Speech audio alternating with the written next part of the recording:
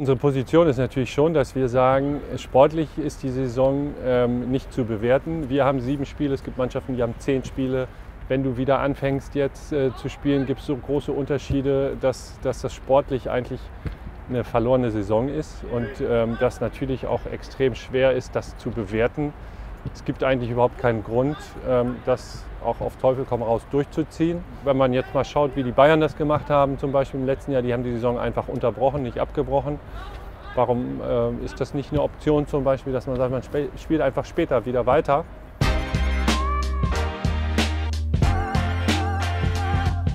Wir haben jetzt alle Spieler in einer Kurzarbeit.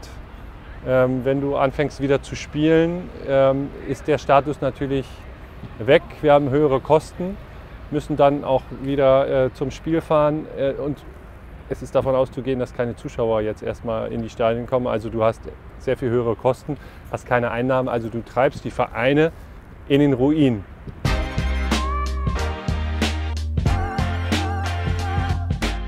Ja, wir wollen natürlich ein bisschen präsent bleiben und haben heute jetzt zum Beispiel ein Lattenschießen organisiert, wo die Spieler im Training für die Fans versuchen, die Latte zu treffen.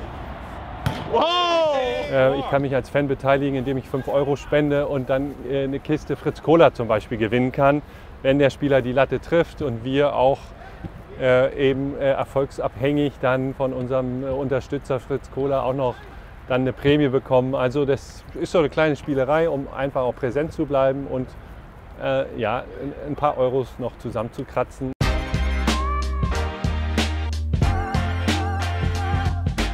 Natürlich ähm, sind wir froh, dass wir uns wieder auch auf dem Platz treffen können und ähm, das wieder ein bisschen mehr Fußballcharakter hat vorher haben wir halt mit individuellen Laufplänen gearbeitet oder in äh, Zoom-Meetings Bauch, Beine, Po gemacht. Aber das hat natürlich alles nichts mit Mannschaftssport zu tun und auch jetzt ist es ja deutlich reduziert. Wir versuchen äh, das äh, Training so anzubieten, ähm, dass jeder Spieler in der Woche zweimal auf dem Platz stehen kann. Ist sicher nicht vergleichbar mit Mannschaften, die einfach jetzt durchtrainieren, die äh, viermal die Woche auf dem Platz stehen, die eine Profimannschaft ganz normale Abläufe haben, die sind natürlich in einem ganz anderen Zustand, das ist ja ganz klar.